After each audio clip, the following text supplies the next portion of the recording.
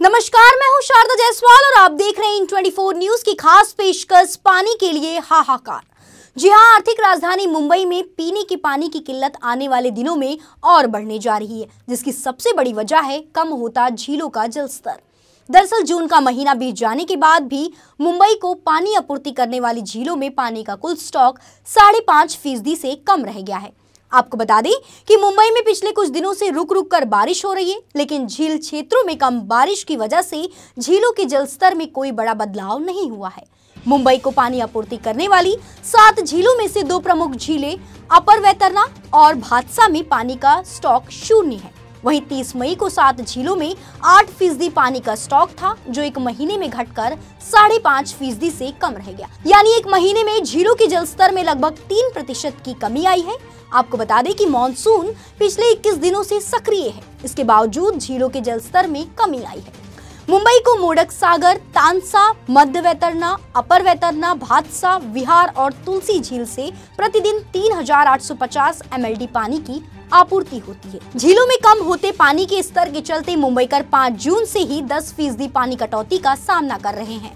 वहीं झीलों में घटते जल स्तर को देखते हुए बीएमसी लगातार मंथन कर रही है। हालाँकि जुलाई में अच्छी बारिश की संभावना जताई गई है, लेकिन पहले सप्ताह में बारिश नहीं हुई तो बीएमसी को कुछ कड़े निर्णय लेने पड़ सकते हैं।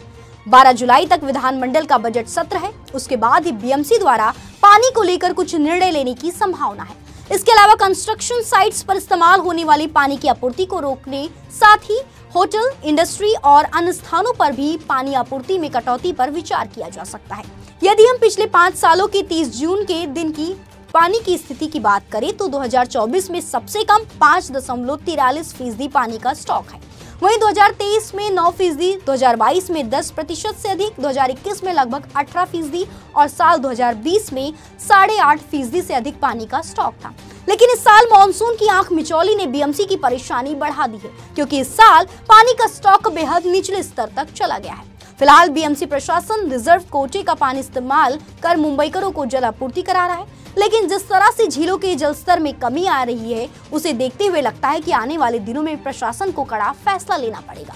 बजट सत्र शुरू होने के कारण बीएमसी पानी कटौती में वृद्धि या कुछ प्रतिबंध नहीं लगा रही है।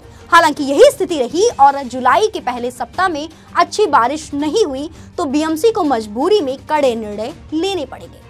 बहरहाल अब देखना ये होगा कि मौसम मुंबईकरों को इस संकट से उभारने में साथ देता है या नहीं। फ़िलहाल इस पेशकश में बस इतना ही। बाकी की ताज़ा तरीन खबरों के लिए बने रहिए इन 24 न्यूज़ के साथ। और मुझे, यानी कि शारदा जायसवाल को दीजिए अब इजाज़त। नमस्कार।